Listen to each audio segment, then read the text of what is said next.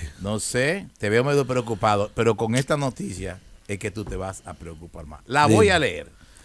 Militares del BSAP se rebelan y salen disparando a las calles de Haití.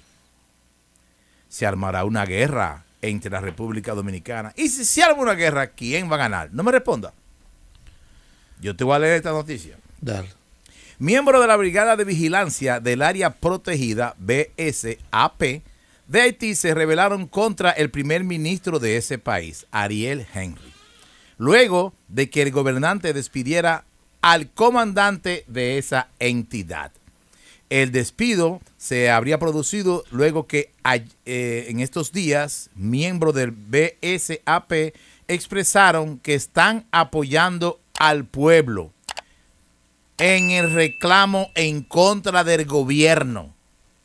Dice, y leo, nosotros como miembros militares iniciamos hoy y estamos saliendo a las calles disparando tras el despido de nuestro comandante. Hoy inicia una nueva etapa. Hemos desertado. Esta lucha no parará indicó uno de los agentes. El gobierno despidió, a Gentle Joseph al frente de la Agencia Nacional de Áreas Protegidas pues, y designaron una comisión técnica de reestructuración. Las detenciones de estas personas fueron publicadas el martes pasado y ahí arrancaron los problemas. Eh, creo que RD debe estar en alta máxima, alerta máxima, ya que los problemas aún son peores. ¿Por qué? Porque asesinaron el vicecónsul eh, Jossard en Haití. Estados Unidos, que se mete en toda también, o donde le conviene, acusa al fundador de un orfanato en Haití también, y hay tan complicados los problemas. Dice con todo ese desorden que hay con los militares y con esta acusación que le hizo Estados Unidos, Haití, dice que Estados Unidos dice que lo acusa de abusar sexualmente de menores. Los homicidios en Haití, en Haití han aumentado un 119.4% en el 2023, casi 5 mil víctimas.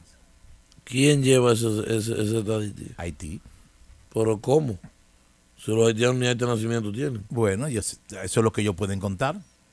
Digo yo que serán la gente que ellos cuentan. Estos son los que ellos, yo diría que esos son la gente que ellos pueden contar, lo que po- podrían contar ahí cuando. Ok, todo eso que tú dices pasó en Haití. Sí. Y tú me preguntas que qué pasaría si qué. Otra cosa para que, ten- para que tenga más respuesta, que también pasó en Haití, que no, no había terminado lo que pasa. Sí. Dicen que secuestraron seis monjas. Denunci- Eso lo denunció una, una organización religiosa. Entonces los dominicanos están asustados porque dicen que temen que se pueda armar una guerra. Además, un juez emitió una orden que prohíbe la salida de Haití del expresidente Michael Martelly. Es regado que está en Haití. Aprovechen ahora que el país está de descuidado y entren. Espera, espérate, espérate. ¿Cómo? ¿Cómo? Lamentablemente, señor Herbert Reynoso, el país de nosotros está en política ahora mismo. Hay elecciones. Tenemos elecciones eh, ahora en febrero y tenemos elecciones en mayo, que son las presidenciales de mayo. Ahora se van a sacar los candidatos que son, eh, creo que eh, lo- lo- los regidores o los que van a, que todavía no, es otra cosa también, no han informado cuáles son los candidatos. Entonces, la gente tampoco sabe que, va- que va a haber elecciones, no, no, la gente está descuidado. ¿Cómo que, cómo que no No, sabe? la gente no sabe nada. Son poca gente que saben que va a haber elecciones ahora. Tú le preguntas a la gente, ¿va a haber elecciones? ¿Y cuándo? Pues yo no sabía. Entonces, una pregunta que, que te voy a hacer quiero que me preste mucha atención. Sí. ¿Tú eres de los que considera que cuando el país está en política se convierte en un país vulnerable, fácil de atacar? Claro. Nuestro país sí. Yo no sé de otro. Tú puedes hablar de otro que tú quieras, de Nigeria, de lo que tú quieras. Pero de República Dominicana, sí. ¿Por qué? Porque los recursos, los recursos los utilizamos para la campaña, para hacer bulla en la calle, para tener la gente afuera eh, eh, a- a- haciéndole aleluya a una gente en un vehículo. Donde tú no sabes quién puede estar planeando tirar lo que sea, qué sé yo, qué sé yo, pon pepita o, o tirapó entre un murmullo de gente y te mata mucha gente. Por, estar, tapando calle. ¿Eh? Un- una pregunta que te quiero. Dime, sigue preguntando. Ya sabemos la situación que hay en Haití, ya sabemos de la rebeldía de esos Sí. militares que se acaban de, de decir que no van a hacer, que se, se fueron a pelear por su gente, Sí. por el despido de su jefe. ¿Crees tú que la situación que está ocurriendo en- ahora mismo en Haití, el desorden que existe en Haití, de una forma u otra puede afectar a República Dominicana? Bueno, eh, lo más cercano que nosotros tenemos son ellos.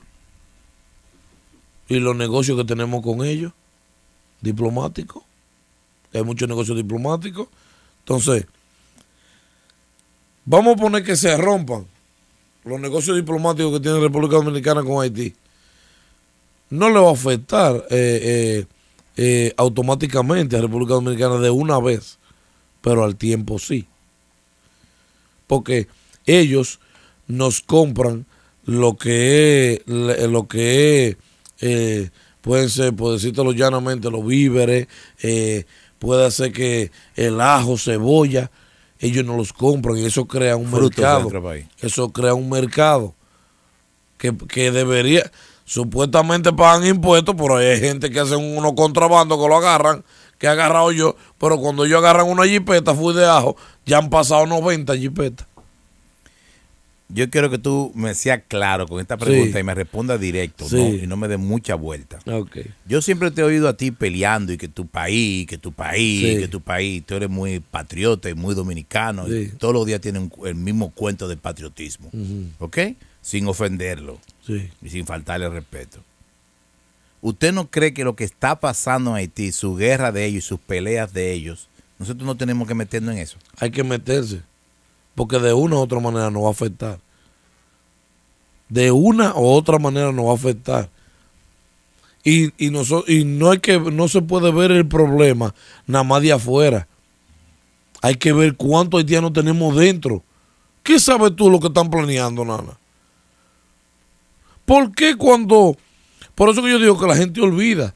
¿Por qué cuando el presidente eh, hizo la barrabasada esta de que de, de que de cerrar por mar y tierra, de que la frontera, tú viste que se estaban yendo todos los haitianos, todos los que vivían legalmente en el país, por la tensión que había. ¿Verdad? Se estaban yendo los que tenían mucho tiempo en el país también, ¿verdad? Por, por la tensión que tenemos. ¿Qué sabe uno lo que están planeando esa gente? ¿Eh? Con, con una Y nosotros ponle cuidado.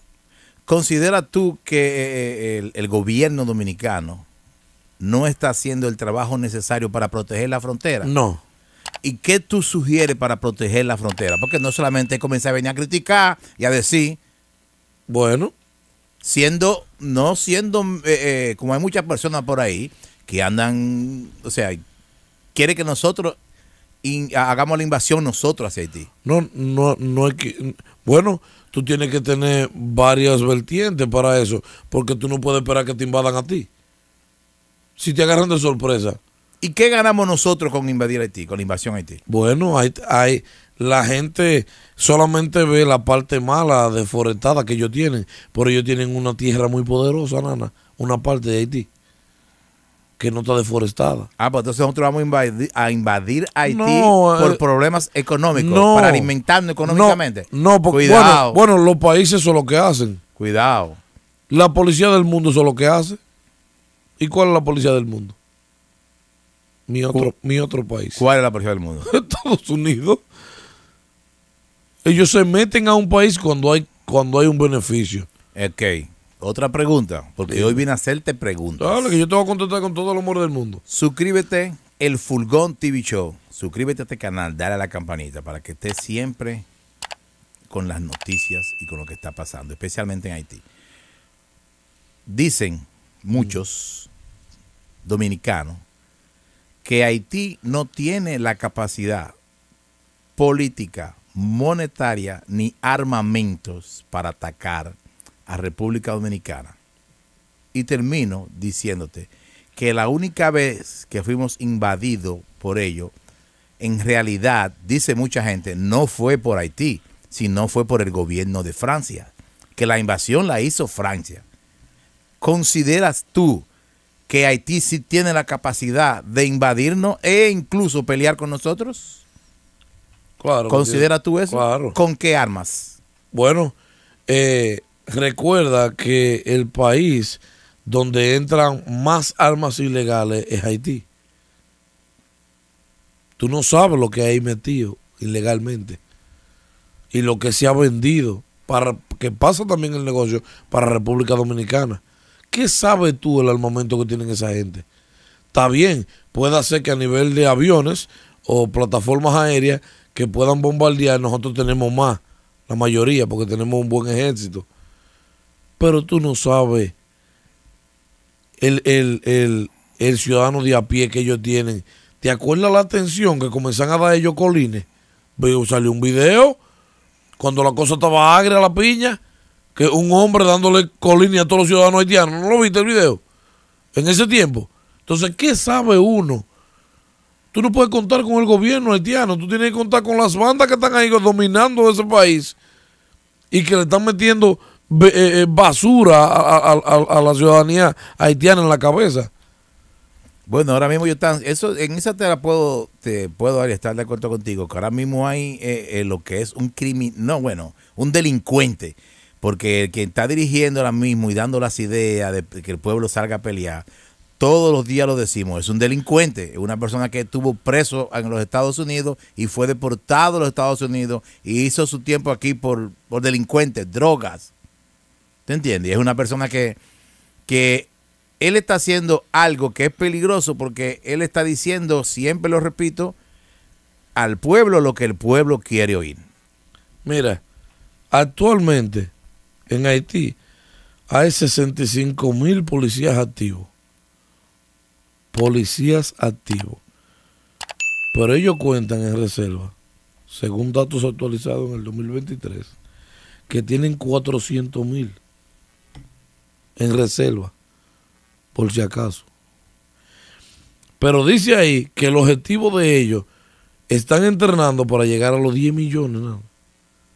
Pero yo no creo que haya 10 millones de ya. Está bien. No, porque no lo hay. Pero es el objetivo. Escucha lo que dice ahí. El objetivo es llegar a esa cifra. Y como ellos paren día 5 y día 6, esas mujeres, ¿qué sabes tú lo que están tramando? No, nada, no se puede, no se puede, eh, eh, ¿cómo se le dice esto? A la persona, subestimar. No se puede subestimar al enemigo. No puedes subestimar al enemigo. Tú no sabes con lo que te va, con lo que te va a enfrentar. ¿Tú consideras a Haití como un enemigo ahora mismo? Bueno, eh, si no vamos a eso, eh, no han sido enemigos realmente de, mucho tiempo. Si lo vemos de la historia, sí, porque nos hicieron un daño grande hace un tiempo. Creo en 1804, creo. Y no más recuerdo. Pero también tenemos que ver cuando hablamos del ciudadano, Hay mucha gente que no tiene la culpa. Porque yo te voy a decir algo, las guerras mueven mucho dinero, porque mueven una economía enorme, y los únicos que pierden son nosotros, los ciudadanos. Ok. Que hay muertos de todo tipo.